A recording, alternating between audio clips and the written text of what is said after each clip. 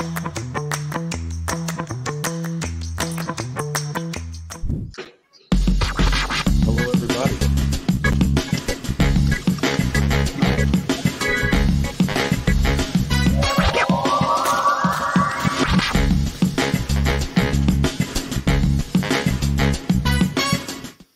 Hello, everybody. My name is Todd Ryan. I'm going to be hosting this this session. I'm with a couple of gentlemen that I do a, a show with every Wednesday at 3 p.m. Pacific anyway. So this is just a half hour. Chad Folkening and Paul Singh, we do a show called AI Domains and Web 3. And we always talk about, you know, basically Web 2, that's where we all come from. And then Web 3, where we're all going. So talk about bridging it, but uh, that is what our session is about today first I was going to uh, introduce the guys, but Paul, you had a good idea from earlier to say here's here's our introduction to Handshake. So why don't you start, introduce yourself, and then how you got involved with Handshake? What's going on, gentlemen, and everyone in the crowd? Great to be here. Thanks to everyone uh, that put this thing together. It's amazing, you know, that uh, from a community-driven, um, um, you know, perspective that we've we've all come together. There's no one behind, no company behind it that's promoting it. So first of all, just props to everyone that's put this together. Um, yeah, I got into Handshake. Uh, you know, I think it was a great set. The first session was great between uh, Jihan and Mike when they were discussing Clubhouse, because you know, at the end of the day, when COVID was happening, that's where we spent a lot of the time.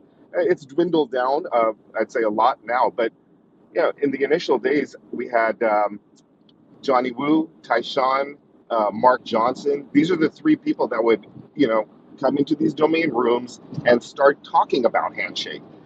And it took me a long time to understand, you know, it, I still don't fully understand it. That's the reason I like to hang out with people like Chad, uh, you know, from tech savvy background, learn, learn from, uh, learn the, the technical aspects of it. And then, you know, from Todd, learn the business aspects of things from you.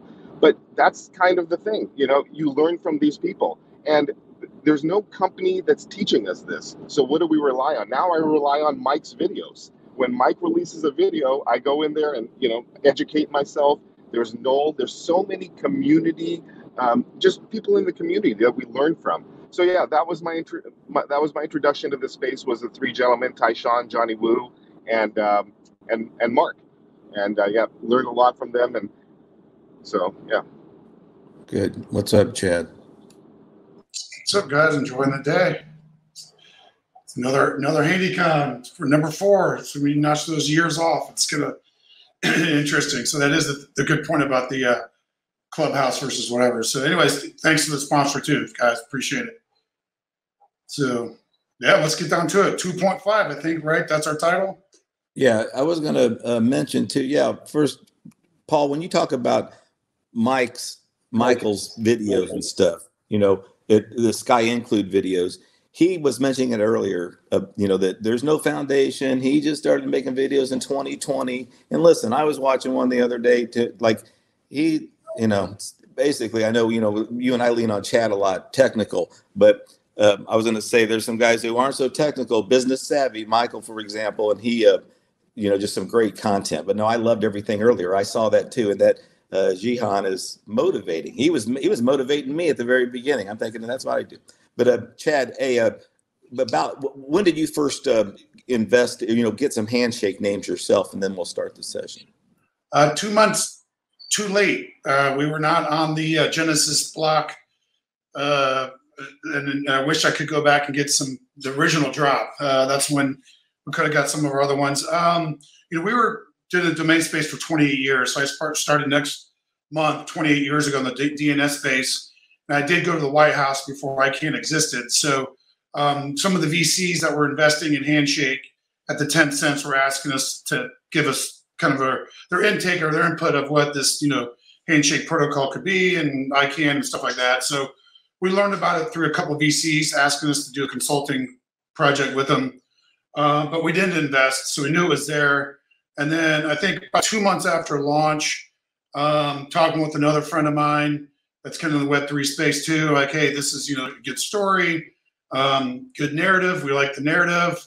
And really at that time, ICANN was just a bunch of idiots, I think getting ready to sell .org and some other stuff was just getting out of hand. So there was nothing else on the marketplace in the industry that was going to even give us any kind of leverage against ICANN, and it had to be through a decentralized technology stack um, and like a protocol, like um, Handshake. So that's what that's what lured me into it is as a counterbalance or any kind of balance um, against the ICANN regime or power that um, that they wield. That's how um, I got it. Well, no, I, I'd like. I was going to say for those who don't, real, real briefly, it was 1998. ICANN was formed, and that was to run the DNS, the domain name system, and the and the also the the IP addresses, but really so to handle these cool names that were pointed to the IP addresses, and then security all around to make sure everything's secure. All right. Well, in '98 is when uh, you know, they basically turned it from a government agency. Government said this needs to be a nonprofit. We'll keep it here in the U.S. It's here in California. This needs to be a nonprofit with governmental uh, influence, or basically entities participating your own bylaws. So anyway, that was uh, I, I, bring that up because um, later on, when they offered some T- new G's and some new extensions, and now there were 1,600, I wanted to get to the, the handshake and the happening a little bit was so Handshake all, had all these reserved, and uh, everybody was wondering: is was it is was ICANN going to come over and get their HNS coins and get the money? Did they have something for VeriSign too? I have no idea. I remember I think it was ICANN had a couple million. Paul, what was that? What, I mean, I, um, I know everybody probably listening here knows. What was Todd, that? I spoke to. I, I was dedicated. I was the handshake representative that pitched it on the public forum. Um, a, a two handshake, letting them know that they had six million dollars of handshake and it could feed a lot of people. so, so anyways, that was yes. Okay, so well, so anyways, to get to, so ICANN didn't really care, and they didn't. Uh, I was going to say I don't think that they. I like that handshake reserved all the ICANN stuff, and I like the whole idea of a handshake, meaning that was my whole point of getting into it. Was haven't even got to that yet. Was uh, yeah, I'm Todd, by the way, on handshake and a lot of other stuff, but I liked it because I thought at some point we're going to have plenty of websites that we build that are not that don't run through ICANN that are going to be these Web3 names, and I like this platform. Um, but then, uh, you know, what was pretty cool is the happening, and I saw Alex, you know, trying to get into it with the other guys, not say get into it, but get into the things. Hey, so what'd you guys buy? Were you buying stuff? I picked up another. I thought I picked up more than I did because I got a little over 200 handshake names, but uh, and I and, and we're going to talk about you know which ones I plan on first building on, but you know there's other things got priority right now. But uh, I was going to say uh, when it comes to the the happening and taking advantage of it, Paul, what was some of your you know strategies? Because I know you picked up some things, but what did you do during the happening? What did you pick up, and what did you know? What did you bid? A lot of bids, and please tell us. You know, I uh, I went in knowing which TLDs I wanted to tackle because there were so many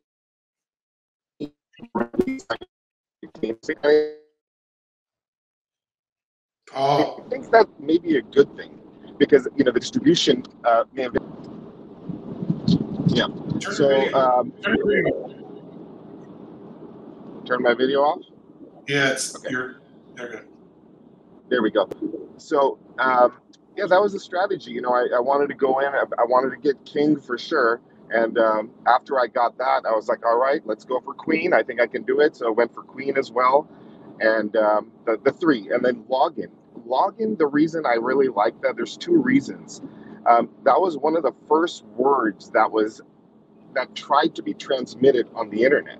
And they started with LO, and I think it just stopped and they had to redo it. So that's one of the reasons. But the main reason is out of all my .in names, out of all 400 names, login.in receives the most traffic by far. And so um, there's a lot, you know, that can be done with this. You know, every site needs a login. And so there's just so much that can be done and I haven't really decided what, you know, which avenue I'm going to go. And that's part of the problem right now. Do you want to stake your name on um, Namecheap? Do you want to stake it on Impervious? Once it's staked and rooted, which means that, you know, if someone's registered in SLD on there, you're stuck. If someone registers something and they reserve it for 10 years, um, and, and, you know, just keep renewing it for 10 years, you can't take your TLD out of there. And that's kind of my hesitation as to how do I proceed forward? How do I develop? Do I really want to go forward with this? Daddy comes out tomorrow, the largest registrar, and they provide us this option. And now I'm stuck over here in Namecheap and I'm unable to do business there. So that's my hesitation right now in this game. Uh, um, I'm just, I'm waiting. I'm waiting to see who is going to be the next one you know, and I'm really grateful for Richard Kirkendall and, and just Namecheap. And that's one of the reasons I'm very bullish on Handshake as well. Is you know, you see smarter people. The reason you invest in Bitcoin, you see smarter people. Andreas Antonopoulos. These guys understood Bitcoin, you know, a lot earlier, and so you just listen to them, and um, and hopefully, you know, we're, we're, all going down the right path. But yeah, that's my two cents here.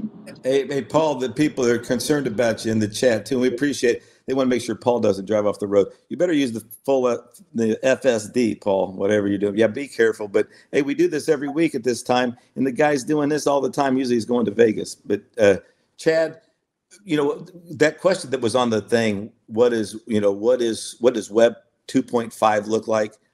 I have an answer for that. But what do you uh, what do you think? I know you go. Uh, what do you think? What's it look well, like? I just I just wrote that Web 4.0 I think Handshake's probably a Web 4.0 protocol, but um, to take back to the buying of the happening, right? The opportunity that was kind of presented up there, I'd like to kind of just redress that, right? Because I think um, about a year ago, some some some founders uh, got together in Austin too, talking about a hard fork, soft fork upgrading. So it was nice to see that that progressed on its own and became that. Um, our our strategy too is we had about 30 names picked out. Um, we had our two or three we wanted to win. Uh, and then we had like kind of like Paul mentioned, you're, you're kind of you're kind of bidding out there. So we put we could have done a better job, but we got our our, our four um, that we wanted because again, Web 2.5 is I'm trying to build Web 3 systems on a Web 2.0 asset, i.e., ICANN, and then Web you know you know TLDs like Handshake on a Web 3 that's a, you know not even a DAO structure, it's protocol structure is, is, is really um, cypherpunk Web3 out there 4.0. Like we're talking, we're talking shit hits the fan with ICANN, the whole you know, root zone. That's probably not going to happen. That's a good thing. Um, but Handshake is really Web 4.0 kind of. And so for me, we're trying to build Web 2 assets and backing into Web uh, like Handshake. So we own like 150 server names.com. We back into that server on Handshake. So when the decentralized compute, decentralized storage, decentralized AI, you know these other um, distributed uh, systems that really are unstoppable. Um, Handshake will be that protocol that fits right in to the ecosystem when that when and if that market ever becomes that uh, needed and desired structure. That's so that's how our buying pattern happens on the on the happening. Yeah, and Chad, thanks for saying that about you know when you mentioned Web 4.0 and then going back to say here's why you say that because you're a you're saying handshake really is developed i mean uh, developed and set up that way uh, the reason because when i was thinking that answer web 2.5 well i was thinking listen apparently it's um, people in web 3 and, and and i gotta say i really enjoyed the last session i had to get off there but i had chanko talking about uh she's awesome obviously i've watched her you know on here and thanks uh, uh, Mike, for inviting me here, and uh, Anne for taking care of this. I really appreciate being part of this. But uh, was saying about Web 2, learning Web 3, Web 3, learning Web 2. And Web 2, that's all just got people, we had experience with the internet. I'm just a business guy. We we feel obligated to learn Web 3. This is new technology. Of course, I'm going to use it. I'm going to use it like, you know, I'm, I'm going through it. And, and the point is about it's whether a lot of people that started, the younger people, I can't help it, they're young. In web three do they want to learn web two? You don't have to no one has to. It's like sometimes you're like i don't want but it's it's like law school. There's some new laws but you need to go to the whole thing you know? And i love that session about trademark law. You know i do a room domain name law but um, it's because it is important and you can i will say this to get everybody going and that is um, yeah you can't right they want to say don't call them domain names which i sort of understand that you know now because when that uh, Paul mentioned that at this ICANN event way out here. He was saying, hey, they're trading on our goodwill. And you know what? When I think about it, yeah, I helped build some of that stuff. You know, sure, Tom in the last session knows, yeah, you know, built that domain name. And Chad, you know, and then people using names. So I think uh, I don't care if people call them that, but I can see why people say hey, that's not really a domain name. But uh, I was going to mention um, this is what it looks like when I forget what I'm saying. Oh, about uh, uh, Paul in the trademarks. Um, right, you can't trademark a TLD. Well, they're telling you these new things aren't TLDs. All right, then we can trade. Maybe we can trademark them. Maybe they're not TLDs, so that's not an excuse. So there are going to be people, you know, and we've seen it, are going to want to start trying to.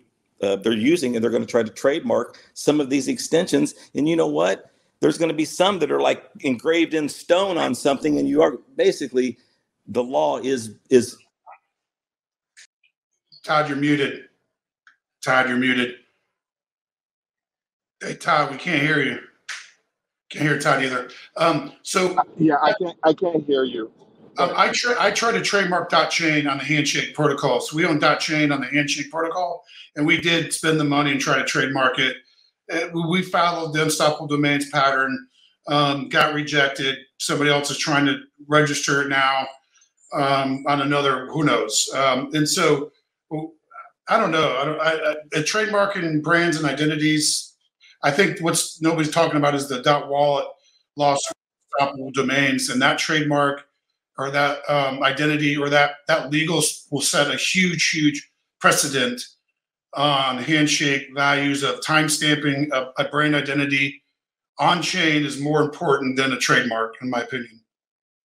You um, just kind of being in the Web3 space, we see maxis all over. There's actually, you know, like the ENS guys, there's actually an ENS maxis group and then you have people that are in HNS that are pretty much maxis also.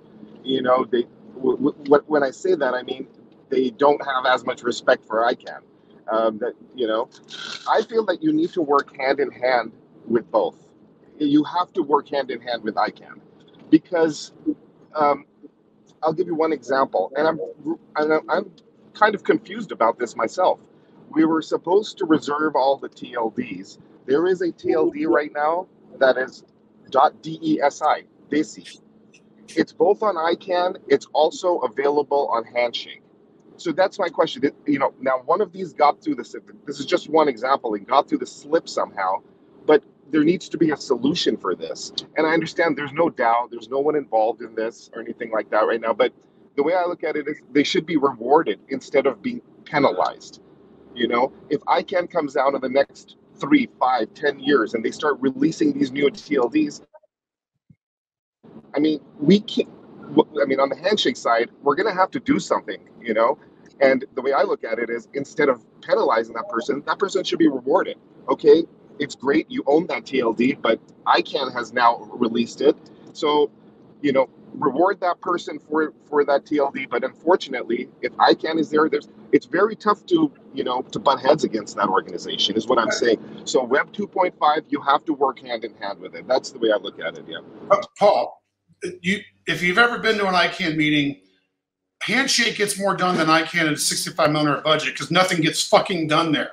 They talk about a mission statement for 30 minutes with 15 people around a table and two of them talk on every single panel. It's but again, but they're the 800 pound gorilla, right? So it doesn't matter, right? So they're in that position and they're in that structure and that thing. You don't deal with ICANN. ICANN doesn't really barely even know Handshake exists, right? The only way to do it is with other value propositions, other network effects, other timing and stuff. Like like these things take many many years, and but but ICANN doesn't recognize handshake and they don't give a shit. So you don't negotiate anything because they don't care. They don't even know you exist. It, it's it's it has to take its own path and follow its own narrative. Even uh, negotiating, it's the fact. It's more not not butting heads with that person, in my opinion. You, you don't want to bet uh, butt heads with, like you said, the 800 pound gorilla. Well, you want to play nice with them, and that's the reason. Unfortunately, you know, I mean, I'm not an unstoppable guy, but they've played nice with them, and you know they've gotten some sort of attraction. And you look at what they just most recently, the fact that they're able to go out to a NFT community and launch the extension for that. And we were able to do that. Why? Why wasn't we were we were able to do that for every single NFT project out there? You know, and that's my question is because there is no there's not that one person. There's not that Matt guy that's behind Unstoppable. There is no guy behind um, handshake that's going out there to each community. And there's a few of us that do it, but we don't spend all our time and effort and devotion into this because you know the, the reward mechanism. You're not getting paid for this, so yeah, it's a give and take. You know that that's the give and take I see. Yeah. You know, um, I'd like to spit this out. You know, I think from being there and being frustrated with ICANN, I was also at another panel where for 40 years they've run the root zone server, and it is one of the most fault tolerant, uh, well designed computer system ever existed. So in one sense, we can thank thank them for the value that they've created. It's called the internet, right? So that, that's one working group that's like, hey, we're, we're doing our job. We're fault tolerant. We're getting our we're compressing our energy and compute down, and we're doing a job of value creation. So, in another sense, you got this stuff over here, but I think identity is going to be the key, right? So, if identity and people want to start getting identity in the world of AI and deepfakes and all this other um, manipulation of profiles, I think that's where Handshake is built kind of for that. And then I think the SSL market, I think Chango, somebody was mentioning that out too, right? That's built into the protocol that's not really talked about to where if Handshake's in that SSL market and let's say five years when compute or quantum or whatever is just crushing systems um, because SSL has been broken and it's there is a possibility that could happen. Um, that's where Handshake hopefully has that other tool in the toolbox that hasn't been played yet and hasn't been discussed, that would then wake people up like an ICANN as a solution um, to a problem. Number one, like we sit in these uh, rooms and we, we talk to people in the Web 2 space a lot. The number one issue, what is it? These names don't resolve. That's what they all, well, you know, my answer to that is it depends. If you want to use a resolver, you can resolve it. You choose not to use a resolver, but that's not going to get through. The thing is that what they say is it doesn't resolve on a mass level. You need to do something. You know, there's friction involved there to resolve these names. And that is kind of the issue. And, and that's kind of just a little topic that I feel if maybe in the community-based effort. You look at what Dog with Coin did. They raised six hundred and fifty thousand dollars to put that dog on the sphere. You tell me that we can't raise that much to go get a .dot .HNS extension, own that. I understand it's ICANN. I get it. But the fact is, these things are going to resolve. We have use case. We can show some people. It's not a double dot. It's not HNS.2. It's just .dot .HNS. You know, I, I feel that that is an opportunity for a, you know, a community driven um, objective here to resolve these things. Because we sit todd and i we sit in these rooms. We you know the, the number one thing that we hear we're not going to invest in this. We're not even going to look at these because they're not domain names. They don't resolve. Well now all of a sudden if you have this hns extent if we own that we're able to resolve all our names on that and they look like regular names. The underlying asset of it with asset will still be handshake. No one is taking that away yeah. You know, hey, can you guys hear me now? Good, perfect time. What's up, Todd? Hey, uh, yeah. Well, you know, I, am I agree with uh, Chad here because it's only temporary. But Chad, this temporary could be 20 years, meaning this Web two and Web three getting together. So we know all the companies that are saying, you know what, let's get your ICANN extension because listen, it's only 300 grand, and we're going to take a fee. It, and uh, and we're going to get that for you. And why why some companies are out there saying we're going to help this company get this extension? I have no idea. Why would you ever do that? That that's like on a handshake telling people, "Hey, I'm starting an auction for this name that slipped through the cracks. You guys got to check it out." Why would you invite people over to bid you at ICANN? That's if you think that's the answer of getting the that extension. Like, you know what? This company's a Web3 company. We're going to get their extension. That's like Paul saying the HNS. I'm saying no, no, no. Now, if you if you want to do it because you have to build a fucking, you know, but there's the big ship, which is ICANN. I mean, which is the traditional DNS, and now we're all going to build some ships. And the guy, the gentleman said in the chat, I love the chat, um, was saying, yeah, until some stuff's built on here. Well, what I would recommend about the building is like I'm going to build a gaming, and I use gaming like the old people, like gambling. Gaming to me means gambling, okay? But still, I'm going to use for gambling where it's a, a handshake, it's a name, and then you're going to be able to go there and do auto bets, and it's going to be well, you know, that's that's a plan there. But still, I'm I'm being patient, knowing uh, like you know, I listened a lot to Chad. He's like, hey, "This is this is Web four. Why would I want to connect it in any way to uh, you know traditional DNS? And especially, I'm not wanting to. So this definitely not. But all these Web two, you know, Web 2.5 companies that I'm seeing from some of our friends in the domain business, because the best Web 2.5 company, they have businesses. If you guys want to know how to bridge it, go to the guys that are running businesses in Web Point two, if that's what you call it, and that and you're like, are you guys interested in tokenizing, fractionalizing? Are you guys interested in all this stuff? A lot of them are, and then some of them are already going out of business. I'd like to say, like, distribution. That's why, right? Handshake has no distribution, has identity but no distribution. ICANN controls distribution of the root zone. That's number one. Their most powerful organization because they have billions of people that go over this root zone server system um, in there. And so, uh, uh, to mention just the, so I got to do the plug for Realty DAO. We've been tokenizing handshake names for four years, and so and then in our smart contract protocol, we try to build governance and stuff like that. But we can own 100% of that asset and build programmability around um, a digital native asset like a handshake protocol name. Hand, you know, with Web two domains, they have distribution, they have other things, but they're centralized and they have to be beholden to these other things, timing mechanisms and stuff like that. But so until that distribution occurs, you you'll have to play the other parameters of what makes Handshake an undervalued asset um, that gets recognized as having value, and it has several components to it, not just a good marketing team or a meme coin or a shit coin, whatever you want to call it. It really does, I think, fundamentally have technology. It's just ten years, might be five years, ten years, fifteen years too early, um, and we never know. But that's my rant, my take. Yeah, uh, we wanted to touch on the uh, the ten dollar the ten HNS renewal fee. I don't know. People haven't mentioned it. Maybe they'll be talking about it. Some great sessions anyway. Later today, there's some, and then tomorrow, like there's some teaching sessions. The the auctions in two days. This great HandyCon got off to a great start. Hope you guys have enjoyed some of the things that we're talking about. But we're going to mention uh, Namebase said it's going to be 10 HNS per name to renew it for a couple years. Which okay, we know it's pennies. But Paul, what do you think? Is you know the people that have uh, sitting on tens and twenty thousand names, yeah, that may pinch a little. I did the math on it. I think for 750 names, that comes out to about $100 a year. I'm willing to have Namebase, uh, you know, just continue with what I'm doing with Namebase. You know, it's it's still at the end of the day three, you know, 10 handshake for two years, right? So it's still reasonable. It's not it's not going to break the bank. But again, you know, for people that have sitting on those 10s, which we have lots of people in our group that bought 4Ls in bunches 12,000, 13,000 4Ls. Yeah, that's going to pinch a little. Um, and so there's options. You can go to Bob Wallet, um, you know, but again, you need, I haven't done that yet because to me, I feel Namebase is good enough as a custodial option for my names for um, for, for my handshake names. Now, Bitcoin, different story, but yeah, with, with, with this, I'm okay with it so far. So far, yeah.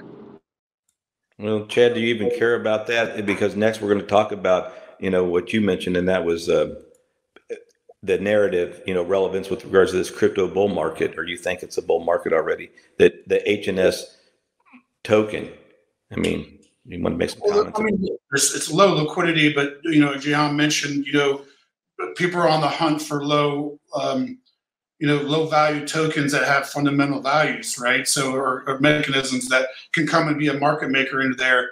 So that's one potential. I think, you know, one thing never always got me is Coinbase, you know, had, had fought and had to pay fines for, you know, listing non-decentralized protocols and tokens when it's like, I don't know too many other tokens protocols that are more decentralized than Handshake uh, from a fundamental standpoint. So, you know, how does Handshake get like, come on, Brian, like, you, if you're really staying core to this decentralized things, okay, tell us why and how we should get there because I think that that would be a, a watershed moment for Handshake if we can get on the Coinbase platform, and, and, because it fits that narrative of this is what you're looking for, right? What that's got to be liquidity. It's got to be a liquidity issue. That's the only thing I don't understand why Handshake isn't getting on Coinbase Exchange some of these other exchanges.